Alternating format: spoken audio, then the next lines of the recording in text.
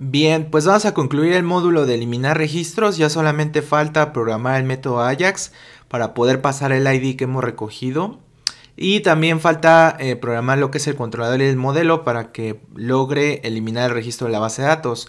Eh, vamos a irnos primero a hacer el método Ajax, es muy sencillo porque estamos usando jQuery, entonces aquí eh, mandamos a llamar dentro del if el Ajax. Recuerden que este if va, se va a ejecutar lo que está dentro siempre y cuando el usuario le dé el botón que sí, cuando le, le pida que sí desea eliminar el registro.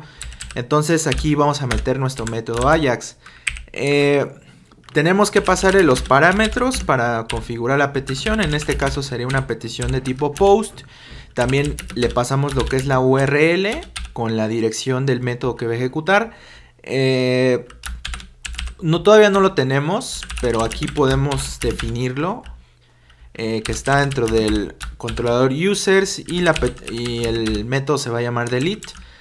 Eh, y con eso sería suficiente. También necesitamos pasarle el ID para que lo mande por Ajax. Aquí el ID ya lo tenemos recogido en esta variable. Entonces solamente pasamos un array, digamos, con clave valor para que eh, recoja, logre recoger del lado del controlador con post este parámetro. Entonces no es necesario que tengamos un formulario para enviar cosas por post. Aquí como te puedes dar cuenta, pues Bastaría con mandarlo de esta forma y lo, recogería, lo recogerías de igual forma en, el controlador. Aquí eh, metemos también el método success y le metemos una función de callback y aquí bueno, eh, si todo ha pasado bien, es decir que el registro ya fue eliminado en la base, pues mandaría la ventana de confirmación que sería esta, ok, entonces la movemos aquí arriba y ya lanzaría nuestro sweet alert de que todo fue eh, terminado satisfactoriamente. Eh, también es importante eh, recoger posibles errores que sucedan. Por ejemplo, un error puede ser de que no se mande un ID, que de hecho aquí no sería el caso porque el ID tú la, tú la estás tomando de la propiedad del botón. Pero bueno, nunca hay que descartar posibles errores o cosas que lleguen a pasar. Siempre hay que tratar de controlar todos los posibles errores que pueda un usuario tener.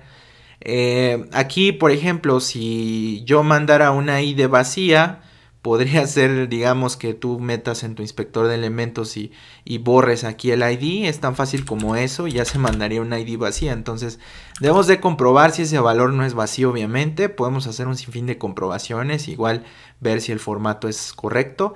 Eh, para no hacer muy largo el video, pues vamos a hacer algo muy sencillo. Aquí eh, ponemos status code abrimos estas llaves y aquí por ejemplo podemos mandar un error 400 por si manda un campo vacío ok eh, aquí en este caso vamos a irnos ahora hacia nuestro controlador para programar la función delete entonces nos dirigimos aquí al controlador.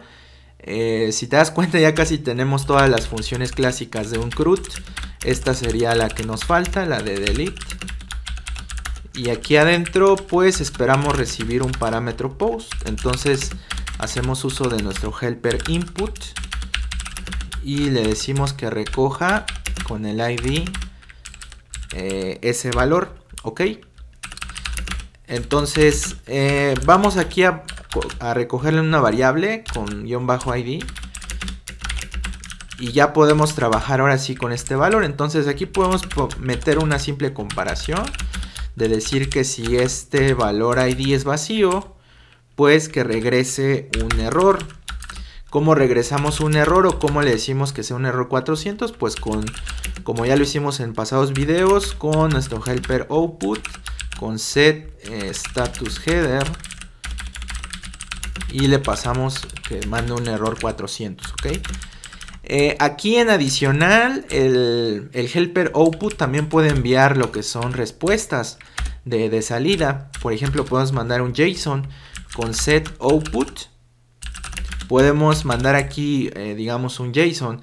Esto sería algo similar a lo que estamos haciendo con echo JSON encode, pero solamente con la diferencia que aquí lo, lo, lo haríamos adentro, ¿ok?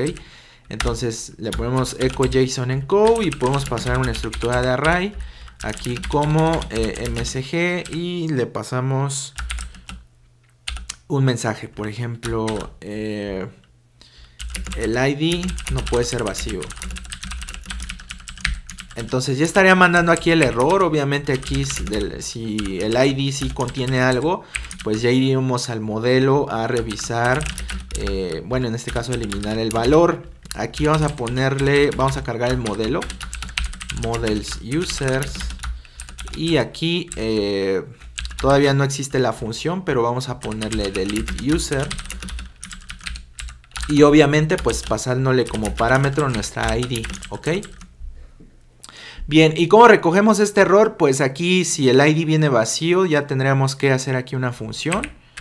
En este caso aquí recibimos como la data con callback y eh, vamos a hacer una variable que se llame JSON y vamos a parsear esa data que viene con json.parse y le ponemos data.responseText y ya con eso obtendríamos ese mensaje. ¿Cómo podemos usarlo? Pues enviarlo, enviando una alerta con SweetAlert. Al igual que esta, que es de tipo success, pues también existe una que es de tipo error. De hecho, nada más el tipo lo cambiaríamos aquí en el tercer parámetro como error. Y aquí, eh, digamos, el mensaje podemos nosotros mismos eh, ponerlo, lo que llega con el JSON. Entonces le ponemos json.msg y ya estaría aquí poniendo el mensaje. Aquí podemos cambiar esto por error. Y bueno, así básicamente se, se controlaría lo que es el error. Entonces vamos a ir acá, eh, recargamos la página, recuerden que se actualizó el JavaScript. Entonces vamos al botón eliminar, vamos a hacer el truco que te decía aquí de borrar el ID para que sea vacío y probar si funciona el error. Entonces vamos a ejecutarlo, le damos que sí y vemos que nos manda el error. Eh, estos, por ejemplo, pues sí tienen el ID. Si nosotros le damos que sí, pues debería de mandar aquí lo que es el, Bueno, tenemos un error 500. Vamos a ver qué pasa. Eh, aquí tenemos... Es que no existe todavía. No, no importa, pero ya está pasando, ¿ok? Aquí manda el error porque todavía no existe esta función en el modelo. Entonces vamos a programarla. Eh, pero ya está pasando en el else. Eh, quiere decir que el ID, pues si el if sí está funcionando para comprobar si viene vacío. Entonces, vamos a irnos ahora a nuestro modelo. Por último, para poder programar esa función. Hasta abajo ponemos public function eh, delete user.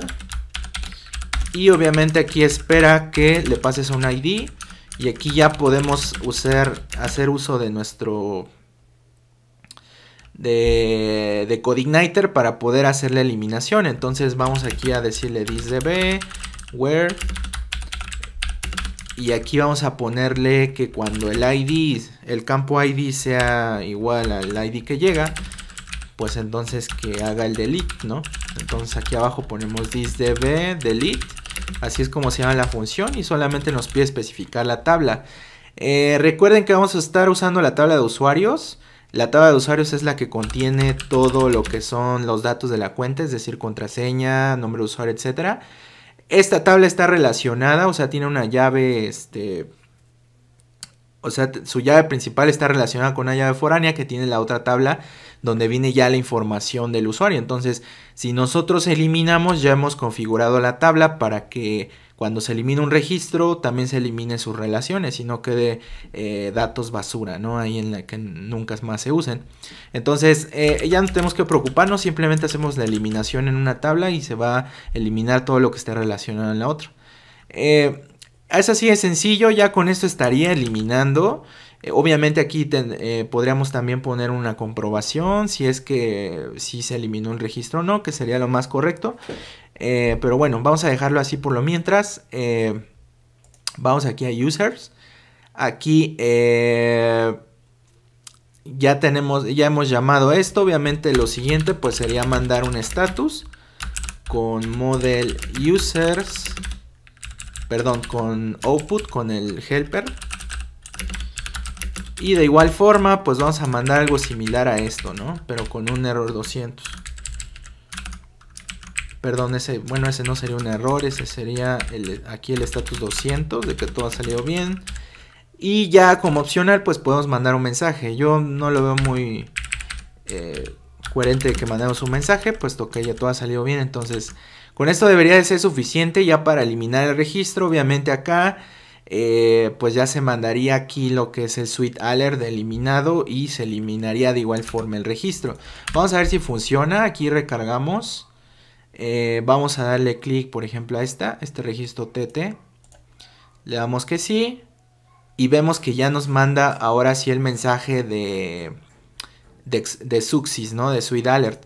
Entonces, esto obviamente no se ha recargado porque en el Doom eh, estamos mandando la orden por Ajax para que se elimine la base, pero nos falta también actualizar la vista. Eh, podemos recargar la página, que sería como que la opción menos viable, pero también podemos eh, pues hacer uso de JavaScript, recoger toda la fila y mandar la eliminación. De hecho aquí vamos a recargar para que vuelva a ir a la base y leer los registros y si nos damos cuenta ha eliminado el registro, ya no existe, entonces ya solamente faltaría eliminar gráficamente de la tabla pues esa, esa fila, ¿no? Entonces vamos a irnos a JavaScript y aquí mismo eh, antes de mandar lo que es la alerta pues eliminamos esa fila. ¿Cómo la eliminamos? Pues es muy sencillo, solamente le ponemos this.parents y le, pasamos como parámetro el selector que sería el tr entonces va a ir en el árbol de dependencias como le expliqué en el pasado video y hasta que encuentre un tr ahí es donde va a devolver esa fila. Entonces aquí ya solamente pasaríamos remove y con eso sería suficiente para eliminar esa fila. Entonces vamos a ver si funciona. Aquí le podemos dar eliminar le damos que sí.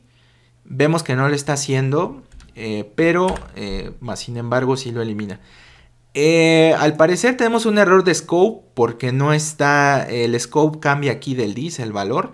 Eh, al, tú al meter el dis en un método Ajax está haciendo referencia a este ambiente, o sea, toda la función Ajax. Más sin embargo, lo, que nosotros necesitamos pues es eh, el scope, digamos, que se crea cuando nosotros hacemos clic en el botón para que podamos eliminar esa fila. Entonces, ¿cómo es que hacemos eso? ¿Cómo es que no le hacemos para no perder el valor del dis? Pues es una práctica muy común que se hacía antes, ahora ya se ha solucionado con eh, los nuevos estándares de JavaScript, pero aquí podemos hacerlo para que funcione. Vamos a ponerle var self es igual a dis. Con esto lo que estamos haciendo es guardar el valor de dis. Entonces ya guardado el valor, ya aquí adentro de Ajax ya podemos usarlo. Eh, con esto evitamos que se pierda ese valor del dis, entonces ya hace referencia a la fila, aquí solamente pasaríamos self y al parecer con eso ya tendríamos solucionado ese problema. Vamos a recargar y le damos aquí eliminar, le damos que sí y vemos que ya elimina la fila de la tabla. Entonces eh, con esta, eh, esta práctica pues ya básicamente sería todo lo que necesitamos hacer para eliminar los registros. Vemos que está muy bien, ya elimina de la base de datos y también lo elimina gráficamente. Entonces eh, pues ya con esto concluiríamos nuestro módulo de eliminación. hasta aquí vamos a dejar este video, espero que te esté sirviendo este curso, si te gustó dale click a la campanita para que te lleguen notificaciones cuando subo un nuevo video. Y de igual forma te pido y compartas con las demás personas que les pueda interesar para que sigamos haciendo contenido de esta calidad. Muchas gracias y nos vemos la próxima. Chao.